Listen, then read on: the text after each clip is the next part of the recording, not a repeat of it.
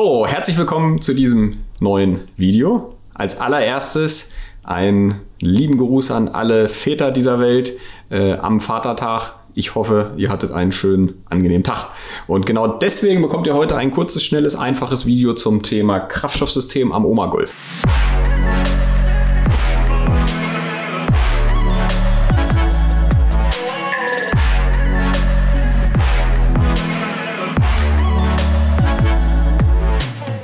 Bisher lief dieses Auto auf ganz normalem Sprit. Wir wollen das Ganze jetzt allerdings umbauen auf E85. Ist allerdings zur Situation, zur Situation, zur aktuellen Situation ähm, nicht ganz so einfach, weil es aktuell das Ethanol kaum noch zu kaufen gibt. Man konnte das immer ähm, im Internet kaufen. Jetzt aktuell Preise exorbitant gestiegen. Das hat ja mal 1,50 Euro gekostet. Was, was schätze René, was jetzt? Ich wollte gerade fragen, was schätze?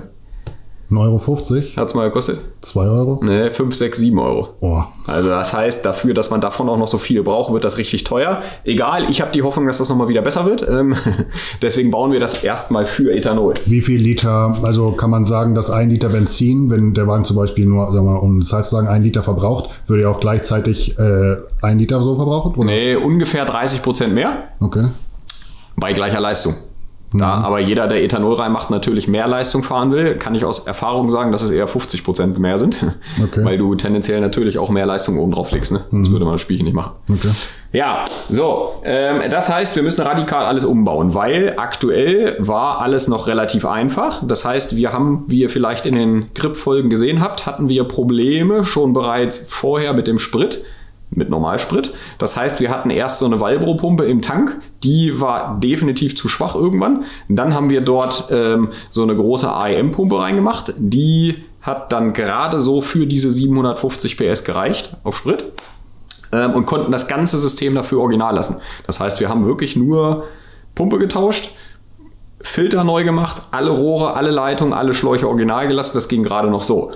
E85, Tipp meinerseits, Kraftstoffsystem lieber viel, viel, viel, viel zu groß auslegen, weil man braucht wirklich Unmengen von dem Zeug und wenn da mal ein Hauch von einer Sekunde Sprit fehlt, ist Motor gleich Schrott. Heißt Loch im Kolben, äh, Ventil abgebrannt, keine schönen Sachen, also E85 immer Kraftstoffsystem. Kraftstoffsystem, boah, ein bisschen Hast du auch schon getrunken? Bisschen Schwierigkeiten heute zu reden. ähm, Kraftstoffsystem maximal groß auslegen. So, wir haben mit den AEM-Pumpen extrem gute Erfahrungen gemacht. Ähm, ihr erinnert euch, wir haben diese beiden Pumpen auch bei Marius in dem Golf verbaut.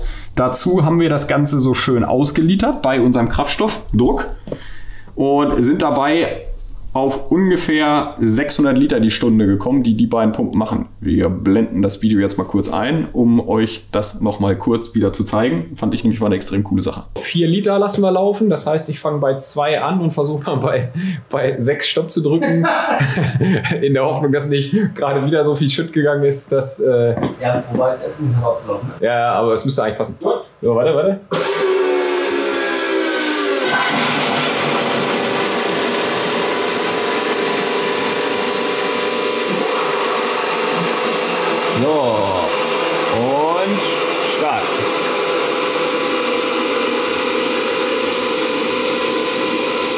1 Liter.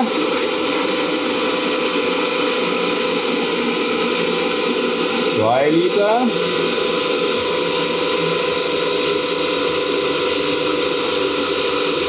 Drei Liter. Dreieinhalb. Krass. Das ist halt bei, das ist jetzt pures E100 und bei E100 ist wirklich krass, wie schnell das verdunstet auch, ne? Ja, das, das man nicht zu unterschätzen. So, äh, 22 Sekunden für dreieinhalb Liter. Äh, 3,5 geteilt durch 22 mal 60 mal 572 Liter die Stunde. So, jetzt habt ihr auf jeden Fall nochmal gesehen, was diese Pumpen können. Jetzt zeige ich euch, wie wir das System eigentlich aufbauen. Also, aktuell ist im Tank schon eine große von diesen Pumpen. Die bleibt in dem Tank auch drin. Allerdings, der Zulauf, der sonst vorne zum Motor ging, den werden wir einkürzen und dieser Zulauf geht dann an diesen Catch-Tank, an diesen Anschluss. Sobald dieser Catch-Tank komplett voll ist, geht der Sprit einfach von hier wieder zurück in den Tank. Das heißt, dieser Catch-Tank sitzt so hinten am Unterboden. Das zeige ich euch später alles noch am Auto. Jetzt gerade gibt es erstmal die Basics. Ähm, das ist eigentlich ein Catch-Tank bei uns aus dem Sortiment für zwei 044er Pumpen. Den haben wir allerdings bereits schon umgeschweißt. Das heißt, die Halter sind schon für den Golf 3 Unterboden.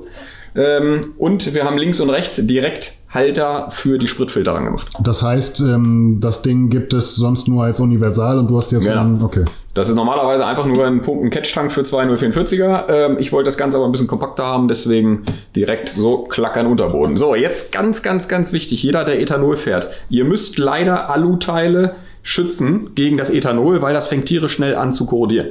Deswegen ist dieser erst ähm, eloxiert worden. Der ist quasi komplett eloxiert und anschließend habe ich ihn noch Pulverschichten beschichten lassen, damit das Ding jetzt optimal gegen jeglichen Rost bzw. Korrosion geschützt ist.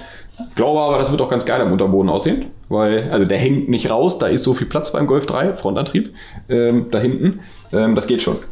So, das heißt, das Kraftstoffsystem folgendermaßen aufgebaut. Aus dem Tank geht es in den Catch-Tank. Wenn Catch-Tank voll geht es zurück in den Tank. Kraftstoffsystem Nummer 1. Dann kommen hier zwei von diesen 044er rein. Äh, die gibt es praktischerweise mittlerweile ähm, mit Rückschlagventil direkt.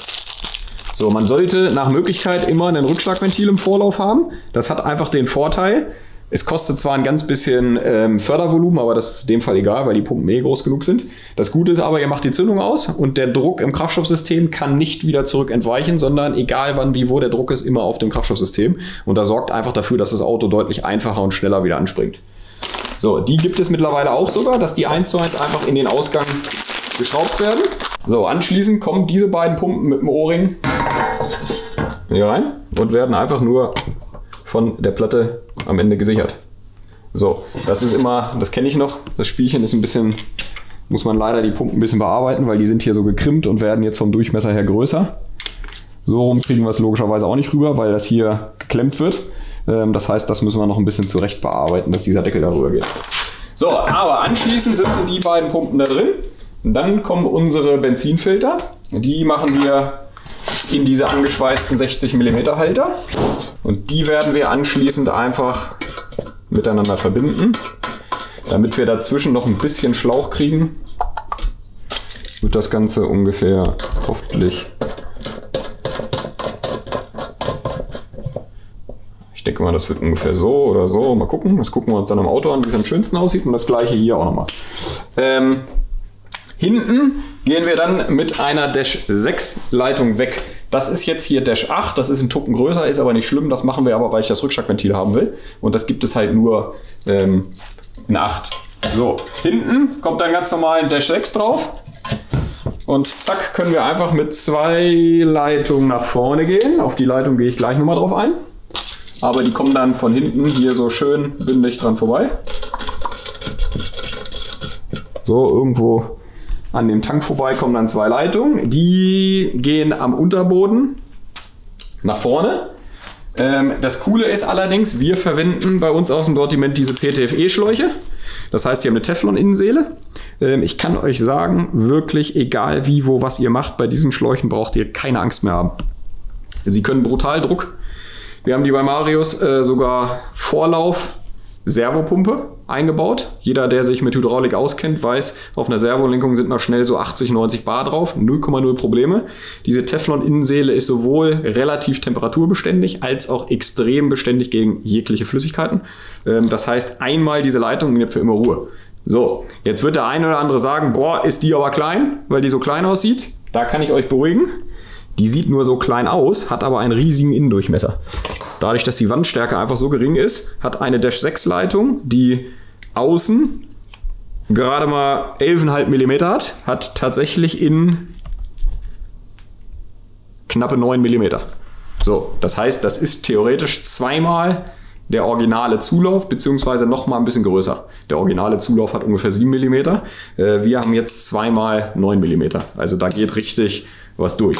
Ja, das Ganze muss natürlich irgendwie am Unterboden verlegt werden. Das zeige ich euch aber später.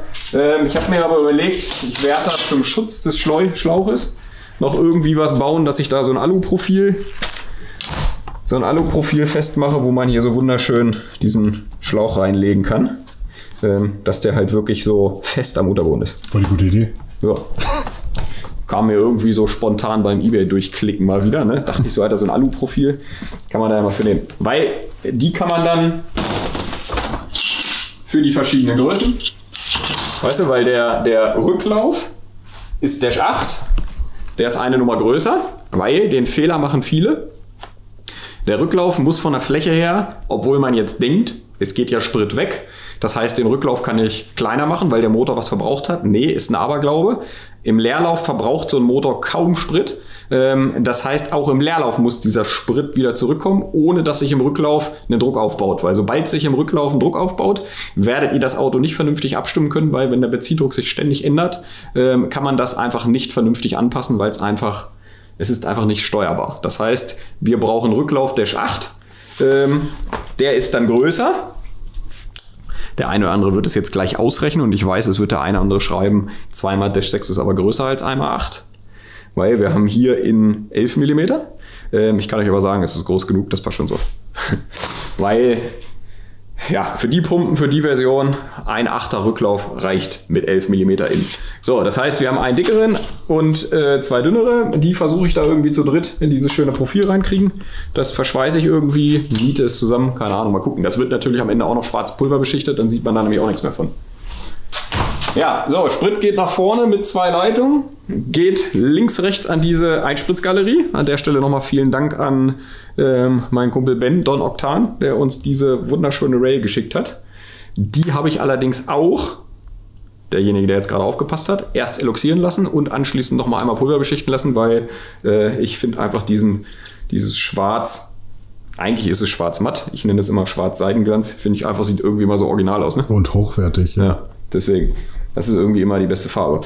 So, ähm, sechs Zylinder am Stück. Jetzt müsst ihr euch vorstellen, angenommen, ich gehe auf einer Seite mit dem Sprit rein, ist natürlich immer die Gefahr da, dass es nicht bis zur letzten Düse einfach reicht, weil man darf immer nicht vergessen, unter Volllast, wenn das Einspritzventil voll aufgeht, geht da halt richtig Sprit weg. Das heißt, ähm, wir machen folgendes: ähm, Wir gehen sowohl links als auch rechts rein. Das heißt, wir versorgen theoretisch immer drei Düsen mit einem Zulauf links und rechts. Und hier in der Mitte ist einfach ein Rücklauf, wo wir dann einfach wieder mit Dash 8 zum Benzindruckregler zum Tank gehen. Catch-Tank. Das heißt, jeglicher Sprit, der von vorne wieder zurückkommt, geht hier rein, dass dieser Catch-Tank wirklich immer gefüllt ist. Ja, ähm, das war es eigentlich soweit. Also ähm, du tankst es aber ganz normal in den Tank und der Catch-Tank ist quasi nur so, ein, so eine Zwischenlagerung. Genau. Okay. Trifft es ganz gut. Ähm, kommt eigentlich mehr aus dem ich nenne es jetzt mal aus dem echten Rennsport.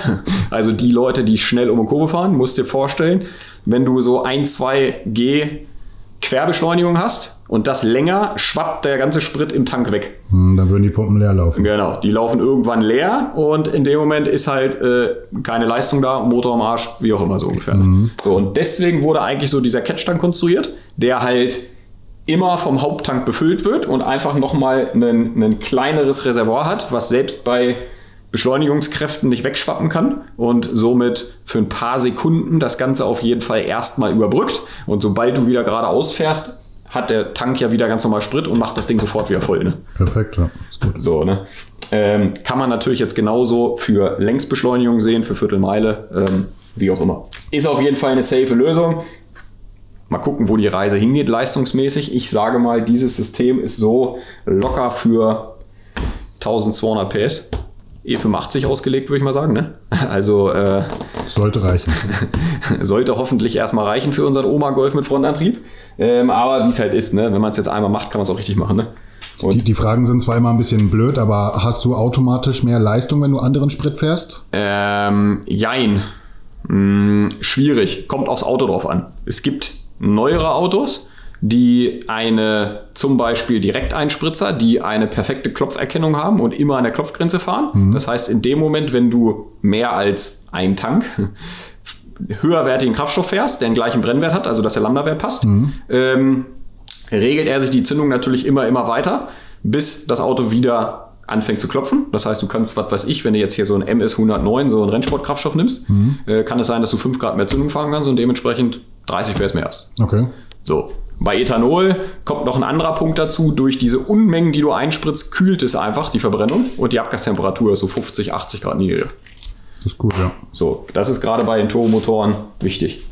Ja, so, jetzt äh, interessiert mich natürlich, wie das Ganze angebaut aussieht. Das heißt, ich reiße jetzt mal aus dem Golf erstmal alles raus und wir hängen das mal rein, würde ich sagen. Wir haben die Leitung jetzt in unserem Längsträger drin.